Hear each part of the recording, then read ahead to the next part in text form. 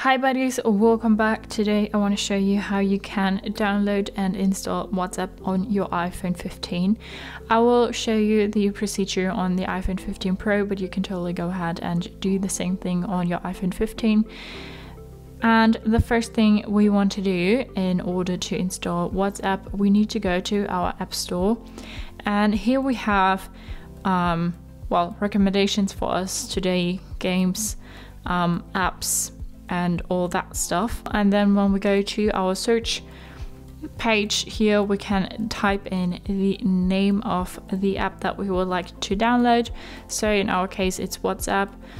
And then we'll have more information, ratings, and reviews about it. And now we can go ahead and say to install it. So click on that cloud and now it's loading. We can open it through the button here or just go back to our home screen and then it pops up here.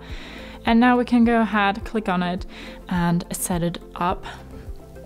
So we have welcome to WhatsApp, family, friends and other people who use our service may have uploaded your number to WhatsApp if so they can see you in their contacts after you sign up.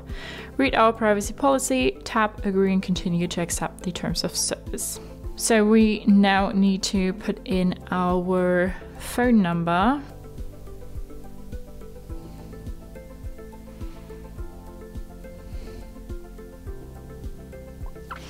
So we are now in our profile and we can type in our name here, um, put emojis and then say done and, and now we have updates we have a cult community chats and we have settings here. And when we click on our account we can also go ahead and edit our profile picture. We can say to take a photo and then we can take a photo from our beautiful grey background. And then that's how we install WhatsApp and set it up on our iPhone.